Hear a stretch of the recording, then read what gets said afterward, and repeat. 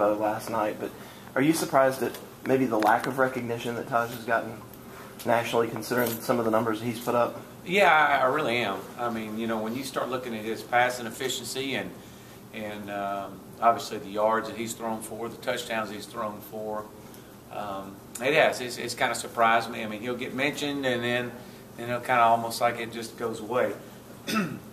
but uh, you know, all that comes with it uh, comes with the territory, and you know, we expect. Uh, excuse me.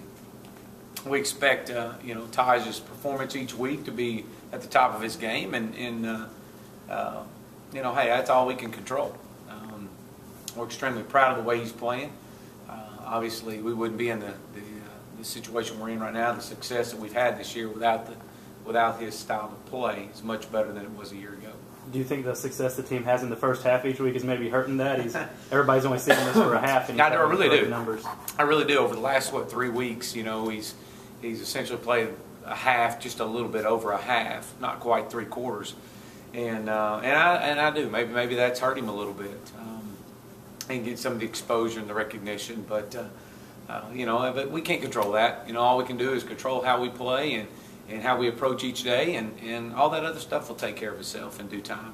For the third straight week, the backups have played a lot in the second half. After going back into film, have they improved each week? They have. They, they really have. I mean, we've show, shown a, uh, a lot of improvement um, in our offensive line, especially, and, that, and, that's the area that we were really focused on, trying to get create some depth, and and um, you know, it's only going to do, it's only going to make us a better football team uh, as uh, as the year goes, as we get into spring ball and then get into next year. So I'm excited that these guys have had had live reps and, uh, um, and, and game experience. I mean, that's that's something you can't coach. Dabo mentioned David Beasley last night.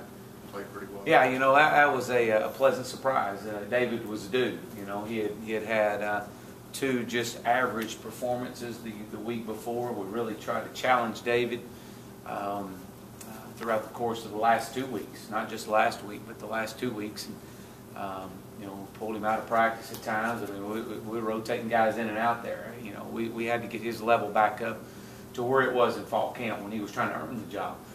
and, and so those were, that it was something I was glad to see. I think he was our, our lineman of the week, and but uh, well deserved. I thought he played probably his most physical game as he has all year. How would you assess Giff Timothy's year? You know, Giff is a uh, Giff, is getting better. Um, he actually showed a, a few signs of being, uh, uh, you know, kind of having some some dominating performances out there. And, and, matter of fact, showed a little bit of a hard edge at times. I had to rewrite the film and make sure that. Uh, uh, you know, man, that's, that, that steps in the right direction right there, and it definitely be things that we'll we'll uh, commend him on today in our meetings, and, and, and proud of him. He's getting better. Um, he's starting to figure it out. Um, still, still, we, we've still got a long way to go, but uh, he's he's played uh, he's he's played well over the last few weeks, and it's been good to see him gain some confidence. Um, you know, and, and, and I'm glad to see that because he's been a he's been a pleasant surprise for us this year, really has.